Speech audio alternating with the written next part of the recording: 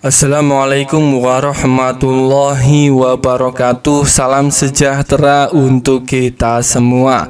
Pada kesempatan video kali ini Kita akan sama-sama kembali menyimak Ada informasi terbaru Bagi keluarga penerima manfaat PKH dan BPNT Yang sudah lancar cair kemarin bantuannya selama tahun 2023 Kita sudah ketahui bersama proses pencairan bantuan bantuan PKH dan BPNT tahap 1 di tahun 2024 ini sebentar lagi akan segera disalurkan di awal tahun 2024 mendatang. Kemudian ada informasi selanjutnya ada kabar terbaru terkait hanya untuk empat kategori kelompok KPM PKH dan BPNT ini yang dijamin bantuannya akan cair kembali di tahap 1 tahun 2024 Para KPM, PKH, dan BPNT ini harus mengetahuinya.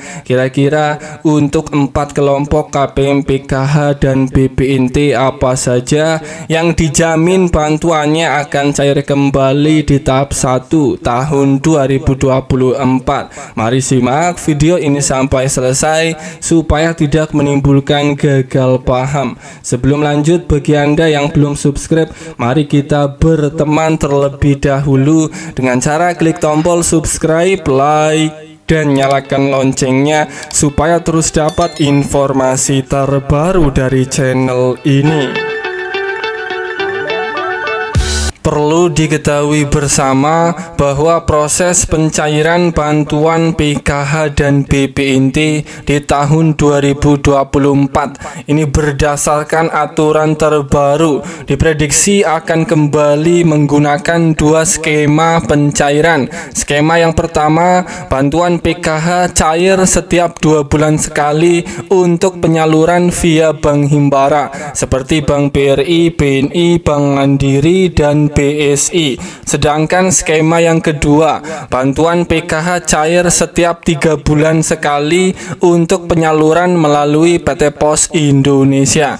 Daerah yang akan cair bantuan PKH tahap 1 dan BPNT tahap 1 di tahun 2024 yang cairnya lewat PT Pos ini adalah khusus bagi daerah yang masuk 3T. 3T ini artinya daerah yang terdepan, terpencil dan tertinggal.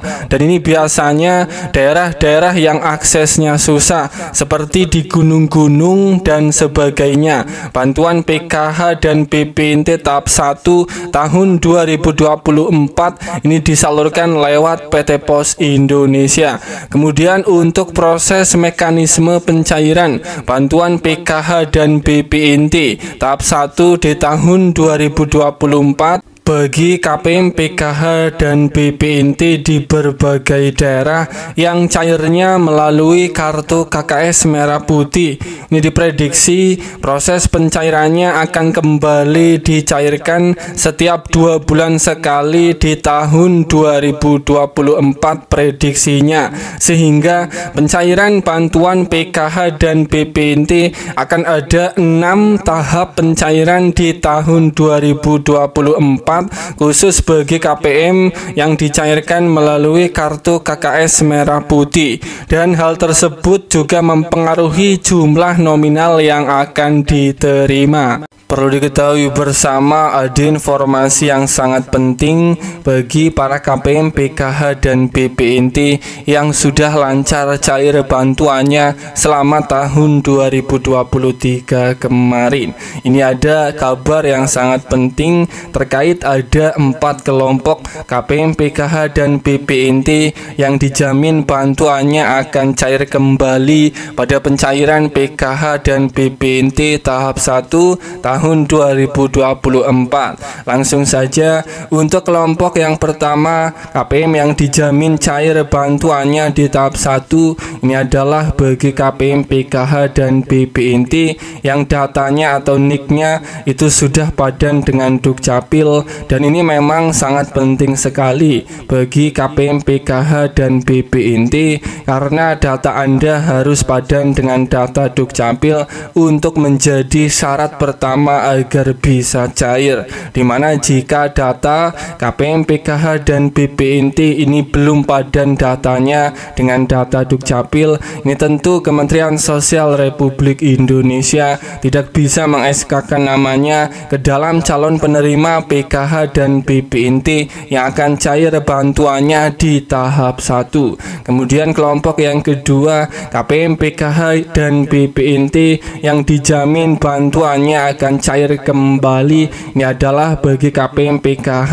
yang masih mempunyai komponen di dalam keluarganya seperti masih mempunyai komponen anak sekolah, ibu hamil, balita atau komponen disabilitas berat maupun kategori komponen lansia. Bagi Anda KPM PKH yang masih mempunyai komponen di dalam keluarganya, ini Anda sudah berada di titik aman karena sudah memenuhi dua kelompok dari empat kelompok KPM yang akan cair bantuannya di tahap 1 kemudian kelompok yang ketiga KPM PKH dan BPNT yang dijamin akan cair kembali di tahap 1 ini adalah bagi KPM PKH dan BPNT yang datanya sudah valid. Data KPM ini tidak bermasalah baik anomali di rekening atau anomali di data DTKS bagi Anda KPM PKH dan BPNT yang merasa datanya tidak bermasalah di rekening maupun tidak bermasalah datanya di DTKS pada pencairan bantuan di tahap terakhir